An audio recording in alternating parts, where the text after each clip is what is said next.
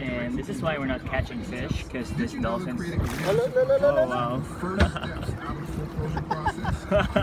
you can almost touch it. He wants me to rub his belly. Oh wow. Here, little guy. He turned, he turned upside down. He wanted me to rub his belly. Look at that. Yeah. Or she, whatever.